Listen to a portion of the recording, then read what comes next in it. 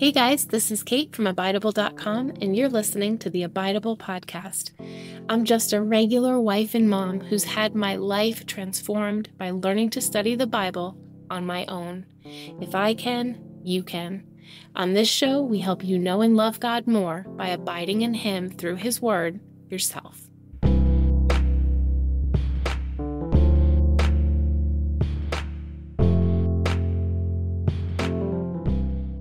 In this episode, we're launching the podcast with a very dramatic title. If I hadn't, I would have died. This is episode one in a five part If series to kick off this brand new Abidible podcast. Okay, so back to the title. If I hadn't what? Learned to delight in the Word of God. If I hadn't learned how to abide in God's Word, I would have died. I didn't choose this title because I was looking to be overly dramatic or to get clicks. I chose this title because it's true. Not only is it true, but I'm in good company in expressing this sentiment. The author of the longest psalm in the Bible, Psalm 119, is unknown. Scholars think it might have been David, maybe Ezra, maybe Jeremiah, maybe even Daniel. But all four of these men, we know, suffered tremendously throughout their life.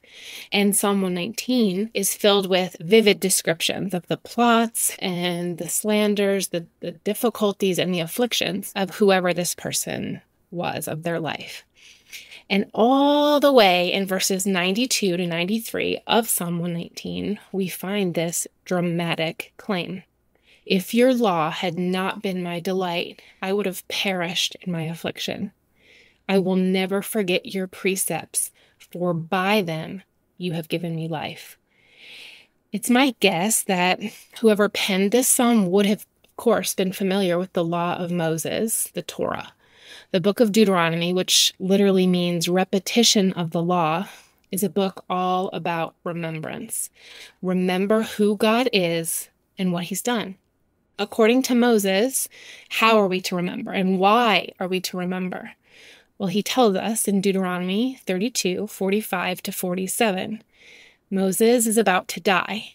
He has just finished his 43 verse song, reminding Israel all about their God.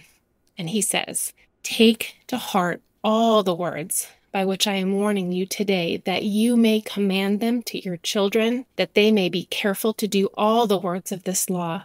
For it is no empty word for you, but your very life. And by this word you shall live long in the land that you are going over the Jordan to possess. It is your very life. And here we have the psalmist agreeing If your law had not been my delight, I would have perished in my affliction.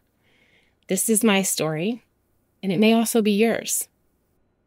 It may sound dramatic for me to tell you that had I not learned to delight in God's word, I would have died.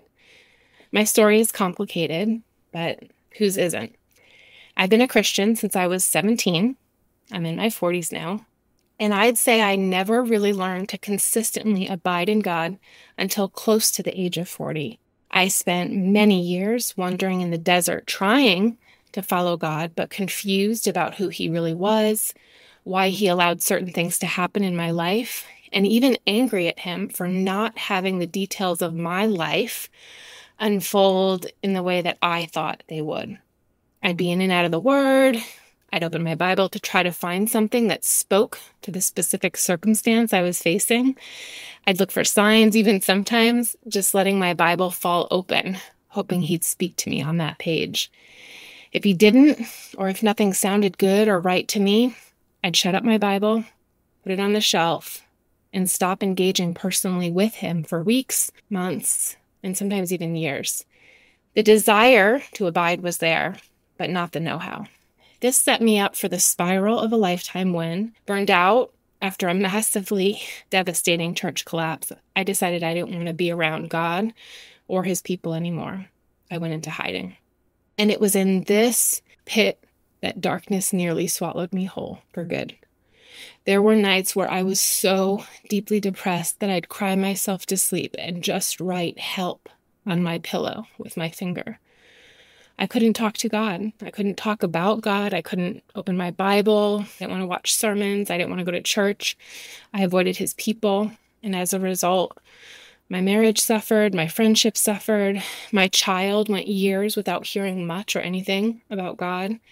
And so, in many ways, my marriage, my faith, my relationships, my health, everything was dying until one day, in such despair and darkness, God brought to mind the story of Jesus in the wilderness. And there I remembered the Son of God, starving and isolated, facing the father of lies, Satan himself. And I remembered, I recalled that Jesus did one thing, and one thing only. He quoted scripture from Deuteronomy, the book of the law. Luke 4 says Jesus was full of the Holy Spirit and was being tempted by the devil in the wilderness. And three times Jesus says, It is written. And then he quotes scripture.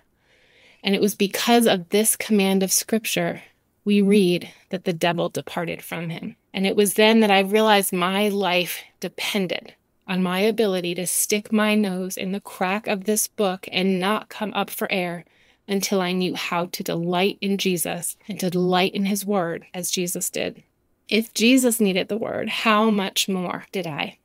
I'm going to do a quick deep dive to show you how you can go from just reading a verse to pulling it apart in order to find treasure. This is the heart of everything we do at Abidible. So let's read the verse again.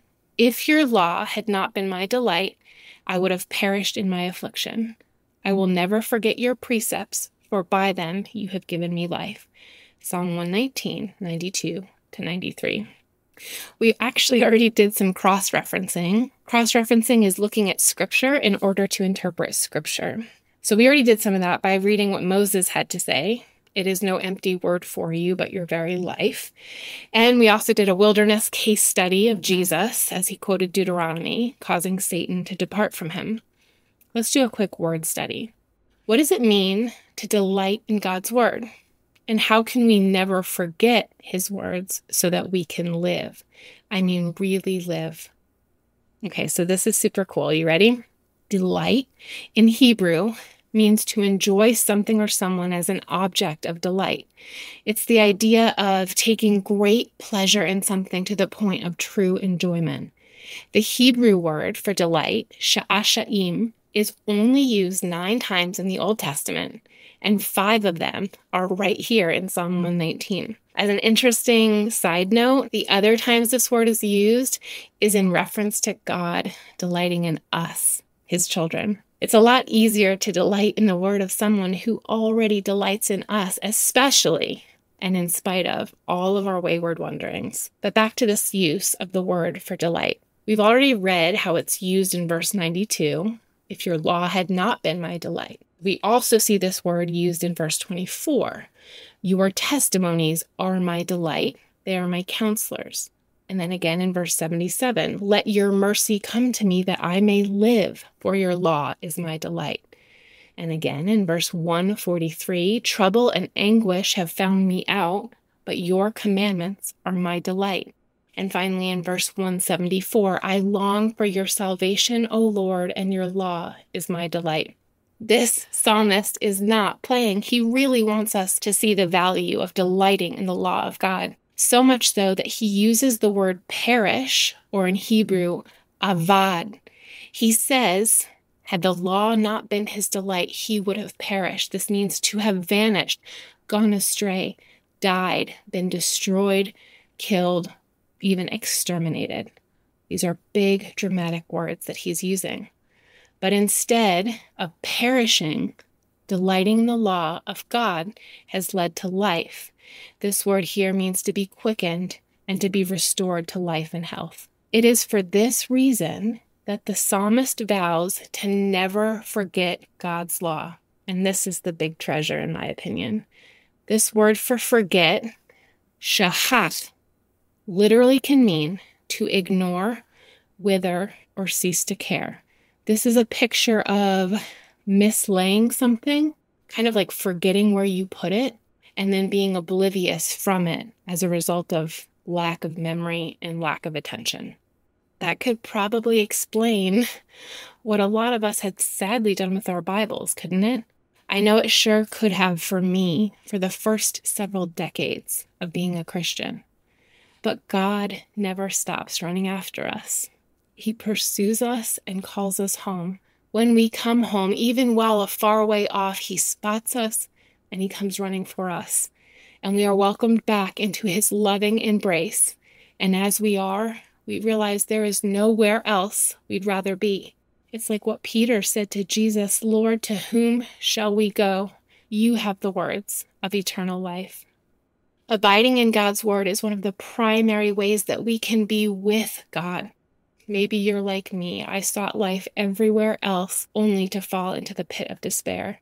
Abiding in God through His Word is the only place you'll find me nowadays. I hope you'll join me as I abide in Him through His Word. For all these reasons, I'm launching a dang podcast. That is a funny story for another day. Maybe you resonate with my testimony. Perhaps you know that pit well. Perhaps your Bible is dusty and forgotten on a shelf somewhere and you don't want it to be so. Maybe you have the desire to abide in God through His Word but lack the know how. And maybe you know someone like you who would benefit from tuning in as well. Would you share this podcast with them and help spread the word? Friend, you are able to abide in the Bible. And not only are you able, but you're dependent on the Word for your very life. Without it, you will surely perish. So let's learn to delight in it together. That's it, the end of our very first podcast episode. Thanks for listening be sure to follow our podcast so you can be notified when new episodes drop. Speaking of new episodes, on our next one, we'll be taking a look at the next if in our five part series If I Can, You Can. Father, we ask that you teach us to abide in you through your word. We desire to delight in your word, and we want to know and love you more. In Jesus' name we pray. Amen. We'll see you next time. Until then, let's abide.